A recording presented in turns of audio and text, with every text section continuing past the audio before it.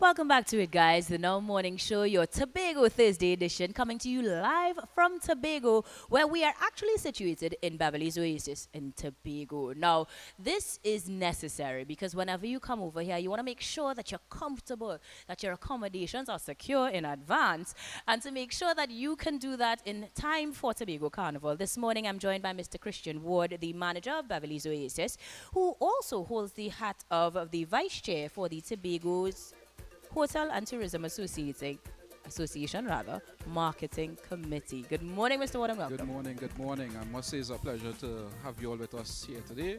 We always see you all from afar. we want to say welcome, welcome, welcome. Good morning to all those who are currently locked in, locked on from Trinidad, the SWAT family. Special good morning as well. It's a pleasure to have you all with us an absolute delight. I am loving this space. I kind of blending in with the background, but I mean, it is one of the premier spaces in Tobago, whether it be for the carnival season or just to relax in Tobago. So tell me a little bit about what Beverly's Oasis has prepped ahead of the carnival season. The anticipation is high and the accommodation is necessary. So, you guys ready? Oh, yeah, we, we stand fully prepared. We would have just recently done some light renovations to our, our studio suites and our apartment style rooms. So we stand fully prepared and uh, we are ready to accommodate all our guests. Now, even before the carnival itself, the launch happening this weekend, I know there was a big drive coming into Tobago. Did that impact you guys at all? Did you see a lot of persons working? Oh, oh yeah, oh yeah, and especially every weekend, we are almost oh, we are almost full. Lucky you, good problems to have.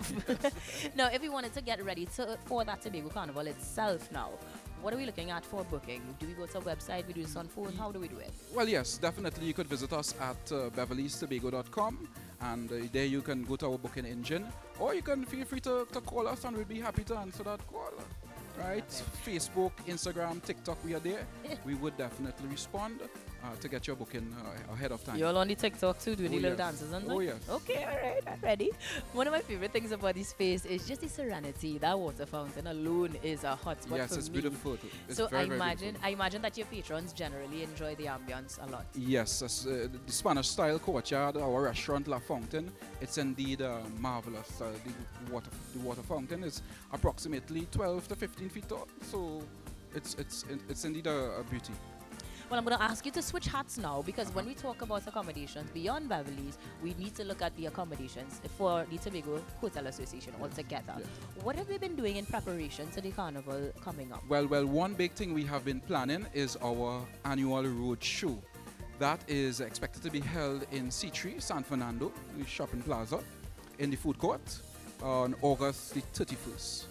Mark your calendars. Yes. What can we expect of that? Well, show? all well, all and most hotels uh, would be there. Most hotels, uh, other uh, tourism asset holders would be there to do a lot of giveaways, etc., etc. So you'll be well. You, it, it, it's free, so you don't need to worry.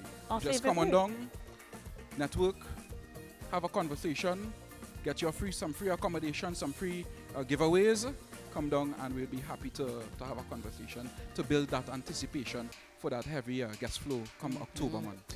October is the best month of the year, not just because of Tobago Carnival, but because of my birthday. But now we know that we can definitely connect with you guys and make our way to Tobago ahead of the carnival. So let me say thank you very much for not just accommodating us this morning, but getting us ready for the carnival in October too. That's what we do best.